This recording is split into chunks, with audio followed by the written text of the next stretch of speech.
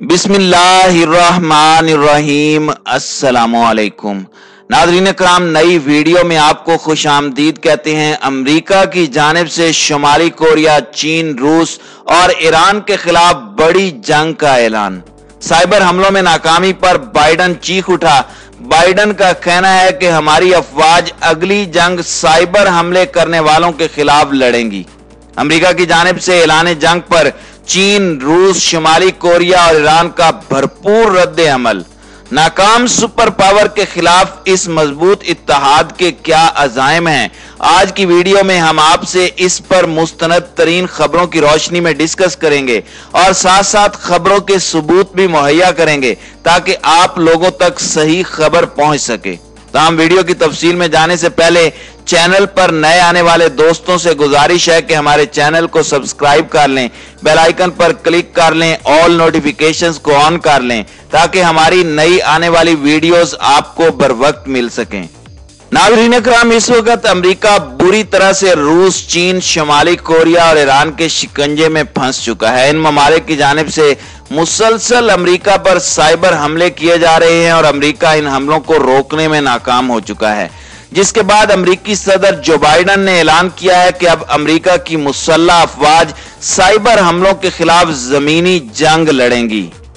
امریکی صدر نے براہ راست روس، شمالی کوریا اور چین سمیت ایران کا نام لیے بغیر یہ دھمکی دی ہے۔ جبکہ امریکی انٹیلیجنس کو شبہ ہے کہ سائبر حملوں میں روس، شمالی کوریا اور ایران کی حکومتی سرپرستی میں کارگزار ہیکرز ملوث ہیں۔ بائیڈن کی جنگ کی دھمکی کے تناظر میں عالمی میڈیا کا کہنا ہے کہ امریکہ میں اب تک کیے جانے والے سائبر حملوں کا کوئی سراغ نہیں لگایا جا سکا۔ ان سائبر حملوں میں امریکی کمپنیوں سے کروڑوں ڈالر کا تاوان کھینچا جا چکا ہے۔ لیکن F B I, C I A, National Security Agency, homeland security اور امریکی افواج کی سائبر ٹیمیں ہائیکروں کا پتہ معلوم کرنے میں ناکام رہی ہیں۔ اسی لیے امریکی صدر نے انعامی رقم کا بھی اعلان کیا ہے تاکہ امریکی کمپنیوں کا ناطقہ بند کرنے والے ہیکرز کی نشاندہی ہو اور امریکہ ان کے خلاف سخت ترین کارروائیاں کرے۔ ناظرین اکرام، یاد رہے کہ امریکی محکمہ خارجہ نے صدر بائیڈن کی مشاورت سے ایک ماہ قبل اعلان کیا تھا کہ اہم انفراسٹرکچر کو نقصان پہنچانے والے ہیکرز کے متعلق اطلاع دینے والے شخص کو ایک کروڑ ڈالر کی انعامی رقم دی جائے گی۔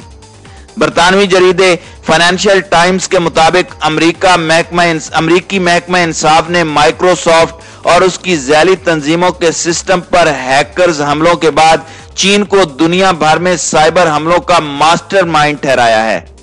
محکمہ انصاف کی دستاویزات میں دعویٰ کیا گیا ہے کہ دو ہزار گیارہ تا دو ہزار اٹھارہ چار چینی ہیکرز سرکاری سرپرستی میں مائکروسافٹ اور دیگر کمپنیوں کے نظام کو ہیک کرنے میں ملوث پائے گئے تھے۔ ناظرین اکرام واشنگٹن ٹائمز کا کہنا ہے کہ امریکی ایجنسیاں اب تک ہیکرز کے حوالے سے کوئی واضح حکمت عملی یا قابل قدر تجزیہ پیش نہیں کر پائیں۔ اس لیے صدر بائیڈن کے پاس روس، چین اور شمالی کوریا کے ہیکرز کو دھمکی دینے کے سوا اور کوئی چارہ نہیں ہے۔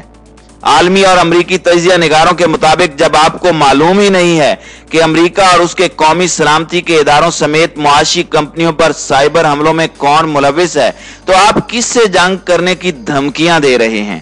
میڈیا رپورٹس کے مطابق امریکی صدر جو بائیڈن نے کہا ہے کہ اگر امریکہ کی ایک طاقتور ملک کے خلاف اصل جنگ شروع ہوتی ہے، تو وہ امریکہ پر سائبر حملوں کا نتیجہ ہوگی۔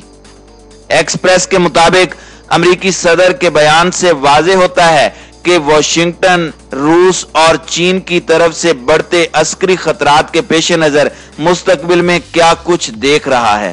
لاس اینجلس ٹائمز کے مطابق امریکی کمپنیوں پر ہوئے ان سائبر حملوں نے مذکورہ کمپنیوں کے مقابلے میں امریکی حکومت کو زیادہ متاثر کیا ہے۔ حالیہ ماہ اور سال میں بعض سائبر حملوں کی وجہ سے امریکہ کے کچھ حصوں میں ایندھن اور خوراک کی فرامی شدید متاثر ہوئی ہے۔ Director of the national intelligence office کے دورے میں صدر جو بائیڈن نے کہا کہ یہ بات امکان سے آگے بڑھ چکی ہے کہ ہم نتیجے پر پہنچ رہے ہیں۔ یہ ایک بڑی طاقت کے ساتھ حقیقی جنگ ہوگی اور سائبر خلاف ورزیوں کا نتیجہ ہوگی۔ اپنی تقریر میں امریکی صدر نے قومی سلامتی کو درپیش روسی اور چینی خطرات کا بھی ذکر کیا۔ ناظرین کرام، واضح رہے کہ امریکی صدر جو بائیڈن نے جون میں جنیوا میں روسی صدر ولادی میر پیوٹن کے ساتھ ملاقات کے دوران امریکہ کے حساس انفراسٹرکچر کی ایک فہرست پیش کی تھی۔ انہوں نے کہا تھا کہ ان پر کسی بھی طرح کے سائبر حملے ہرگز برداشت نہیں کیے جائیں گے۔ لیکن روسی صدر نے کسی بھی سائبر حملے میں ملوث ہونے کے الزامات کو مسترد کر دیا تھا۔ دوسری جانب، جو بائیڈن نے چین کی طرف سے لاحق خطرات پر بھی روشنی ڈالی اور چینی صدر شی جن پنگ کا حوالہ دیا کہ وہ چین کو دنیا کی سب سے زیادہ طاقتور فوجی طاقت اور دو ہزار چالیس کی دہائی کے وسط تک دنیا میں سب سے زیادہ نمایاں معیشت بنانے کی خواہش رکھتے ہیں۔ رائٹرز کے مطابق، امریکہ میں سیول wonder colonial pipeline, J B S اور کاسیا جیسی بڑی کمپنیوں پر سائبر حملوں کے بعد اب سائبر سیکیورٹی بائیڈن انتظامیہ کی اولین ترجیح بن چکی ہے۔ کیونکہ ان حملوں نے امریکہ کو کافی نقصان پہنچایا، جس کے نتیجے میں امریکہ میں تیل اور کھانوں کی سپلائی بھی متاثر ہوئی ہے۔ ناظرین کرام او ڈی این آئی کے تقریباً ایک سو بیس ملازمین اور عہدے داروں سے خطاب میں بائیڈن نے امریکی خفیہ اداروں کے ارکان کا شکریہ ادا کیا اور ان کی کارکردگی پر اعتماد کا اظہار کیا۔ امریکی صدر کا کہنا تھا کہ وہ ان پر سیاسی دباؤ نہیں ڈالیں گے۔ واضح رہے کہ او ڈی این آئی سترہ امریکی خفیہ اداروں کی نگرانی کے فرائض انجام دیتا ہے۔ بائیڈن کا کہنا تھا کہ آپ جو کام کرتے ہیں میں کبھی اسے سیاسی نہیں بناؤں گا، یہ میرا آپ سے وعدہ ہے، یہ ملک کے لیے بہت اہم ہے۔